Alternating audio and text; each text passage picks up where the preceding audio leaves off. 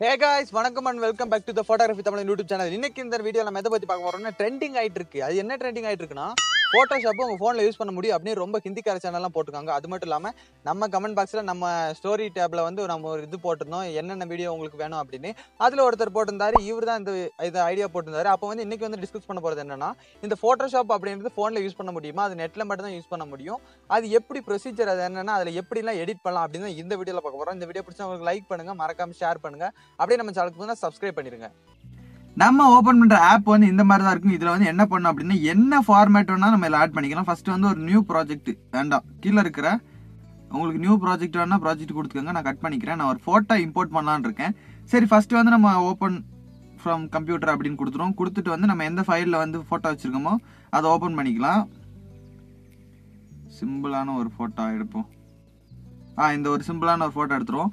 Net கனெக்ஷனை பொறுத்து தான் இதோட ஆப் வந்து வேலை செய்யும். ஏன்னா ஃபுல் நெட்டு வந்து எவ்வளோ இருக்குதோ அதுக்கேற்ற மாதிரி தான் ஸ்பீடாக வேலை செய்யும். அது மட்டும் இல்லாமல் உங்களுக்கு வந்து ரேம் வந்து நல்லாவே இருக்கணும். இதில் வந்து ரொம்ப விஷயங்கள் இருக்குது அது வந்து நம்ம போக போக போகலாம். ஆனால் இது வந்து நெட் வந்து இடையில கட் ஆயிடுச்சுன்னா ஃபோட்டோ வந்து ஃபுல்லாக கேன்சல் ஆயிரும். அது மாதிரி ரொம்ப விஷயங்கள் இருக்கு. ஸோ வந்து நமக்கு இதோட பிக்சார்டு கொஞ்சம் மேபி நல்ல விஷயம் மாதிரி தோணினாலும் இதில் கொஞ்சம் வித்தியாசமான ஃபீச்சர்ஸ் எல்லாம் ஃபஸ்ட்டு ஃபர்ஸ்ட் வந்து இந்த சைடில் இருக்கிறதெல்லாம் என்ன அப்படின்னு தெரியுங்கன்னா மறக்காம நீங்க போயிட்டு இந்த வீடியோ பாருங்க. இதுல வந்து நான் போட்டோஷாப் பத்தி ஃபுல்லாவே சொல்லிருக்கேன். பார்ட் ஒன் பார்ட் ஒன் ரெண்டு வீடியோ போட்டுங்க அது ரெண்டுமே டிஸ்கிரிப்ஷன்ல இருக்கு.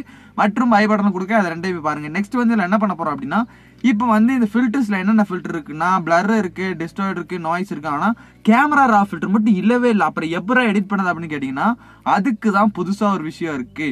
அது மட்டும் இல்லாம இந்த பக்கம் எரைசர்ல என்னென்ன எரைசர் இருக்குன்னு பார்த்தோம்னா இது வந்து ஹீலிங் சாரி எரைசரில் வந்து எரைசர் அண்ட் பேக்ரவுண்ட் எரைசர் மட்டும்தான் இருக்குது இதை வச்சு நம்ம எரைஸ் பண்ணிக்கலாம். ஃபஸ்ட்டு வந்து நம்ம கலர் வந்து எப்படி சேஞ்ச் பண்ணது பார்த்துடலாம்.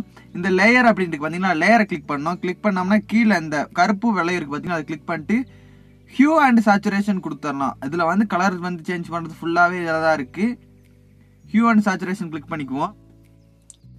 இது வந்துருச்சு. இதில் வந்து நம்ம என்ன பண்ண போகிறோம் இப்போ ரேஞ்ச் வந்து மாஸ்டரில் இருக்குது அதை கிளிக் பண்ணி இப்போ நமக்கு என்ன கலர் வேணும் அப்படின்னு சேஞ்ச் பண்ண போகிறோம் எல்லோ கலர் செலக்ட் பண்ணிட்டோம்னா இப்போ வந்து இந்த ஹியூ வந்து சேஞ்ச் பண்ணோம்னா அந்த கலர் மாறும் அப்படின்னு வந்து நான் நினைக்கிறேன். இப்போ வந்து இது லைட்டாக வந்து சேஞ்ச் ஆகிருக்கு அது பார்த்தாலே உங்களுக்கு தெரியும். அந்த பச்சையிலேருந்து மஞ்சள் ஆயிருக்கு அது வந்து உங்களுக்கு நல்லாவே தெரியும். ஸோ வந்து இதை அப்படி கிளிக் பண்ணிட்டு நெக்ஸ்ட் வந்து என்ன பண்ண போறோம் அப்படின்னா இதுல வந்து எப்படி இன்னொரு இது வந்து ஆட் பண்றது? இப்போ வந்து பிக்சர்ல பண்ணோம்னா கிளாரிட்டி இல்லாமல் போயிடும் அப்படின்னு எல்லாருக்கும் ஃபீல் ஆகும். இப்போ வந்து இதுல இன்னும் இன்னொரு போட்டோ இம்போர்ட் பண்ணி நம்ம வந்து அந்த பிஎன்ஜி எல்லாம் ஆட் பண்ணி சேவ் பண்ணோம்னா நல்லாவே கிடைக்குமா அப்படின்னு தான் இப்போ பார்க்க போறோம். இப்போ ஃபைல் போயிட்டு ஓப்பன் கொடுத்துருங்க. ஓப்பன் கொடுத்தோம் என்ன பண்ண போறோம் அப்படின்னா ஃபைலை செலக்ட் பண்ணிட்டு ஏதாவது பிஎன்ஜி நீங்கள் டவுன்லோட் பண்ணி வச்சுருப்பீங்க. அந்த டவுன்லோடை வந்து செலக்ட் பண்ணிக்கோங்க. இப்போ வந்து நான் இந்த இதை வந்து செலக்ட் பண்ணிட்டேன்.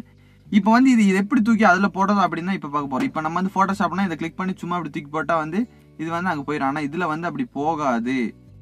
இல்லை எடிட் பண்ணிட்டு அண்டு கொடுத்தோம்னா இதாயிரும்.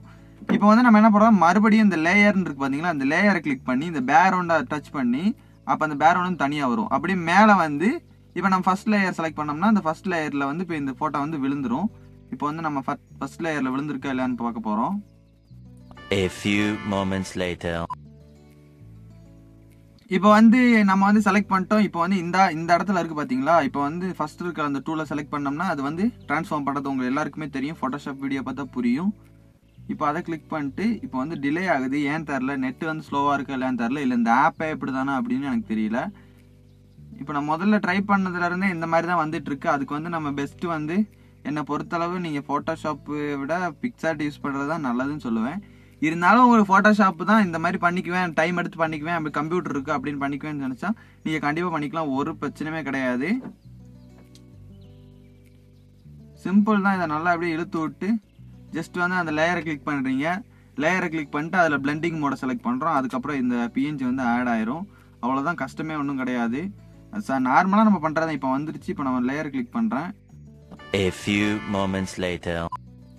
இப்போ லேயர் வந்து ஓப்பன் ஆயிடுச்சு இப்போ வந்து நம்ம இந்த பேக்ரவுண்ட் இருக்கு பார்த்தீங்களா அந்த பேக்ரவுண்ட் செலக்ட் பண்ணி வச்சிருக்கோம்.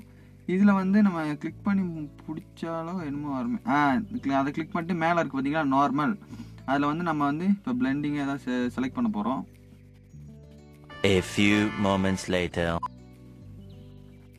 இவ்வளோ நேரம் ஐயா அது வரவே மாட்டேங்குது. ஸோ வந்து இதில் என்ன தெரியுதுன்னா பிக்சார்ட் தான் பெஸ்ட்டு இது வந்து ரொம்ப லேக் ஆகி தள்ளிக்கிட்டே இருக்குது அதுக்கு நம்ம நம்ம ஒர்க் ஃப்ளோ வர மாதிரியே பிக்சார்ட் நான் அடோப் லைட் பண்ணிடலாம் சிம்பிள் தான். ஆனால் இதை போட்டு கஷ்டப்படுத்தாதீங்க. உங்களுக்கு சொல்லணுமே அப்படின்னு தான் சொன்னேன். உங்களுக்கு பிடிச்சிருந்தா நீங்கள் பண்ணலாம். கண்டிப்பாக உங்களுக்கு உங்கள் ஃபோனில் ஸ்பீடாக இருக்குது நெட் ஸ்பீடாக இருக்குது நல்ல ஃபுல்லாக இது அப்படியே ஃப்ளோவாக வருது அப்படின்னு நீங்கள் கண்டிப்பாக பண்ணலாம். ஒரு பிரச்சனையும் கிடையாது. என்னை பொறுத்தளவு என்னோட ஒப்பீனியன் வந்து இதுக்கு நம்ம ஃபோனில் உள்ள ஆப்ஸ் வச்சு பண்ணிடலாம் சிம்பிள் தான். இல்லைன்னா அதில் பண்ணிட்டு தனியாக பிஞ்சு பிஞ்சாக சேவ் பண்ணி அதுக்கப்புறம் நெக்ஸ்ட் வந்து இதில் போட்டு நம்ம சேவ் பண்ணால் நல்ல ஹெச்டியான இது கிடைக்கும். என்ன ஃப்ரெண்ட்ஸ் இந்த வீடியோ உங்களுக்கு யூஸ்ஃபுல்லாக இருக்கும் அப்படின்னு நினச்சிருக்கேன். நம்புறேன். அது இல்லாமல் நீங்கள் என்ன பண்ணுறீங்கன்னா நாளைக்கு என்ன வீடியோ அப்படி வேணும்னு மறக்காமல் கமெண்ட் பண்ணிருங்க. கமெண்ட் பண்ணிங்கன்னா கண்டிப்பாக அதை அப்படியே முதல்ல போட்ட மாதிரியே உங்கள் பேரையும் சேர்த்து போட்டு நாளைக்கு நான் ஒரு சூப்பரான வீடியோ சந்திக்கிறேன். அது வரைக்கும் டாடா பை சி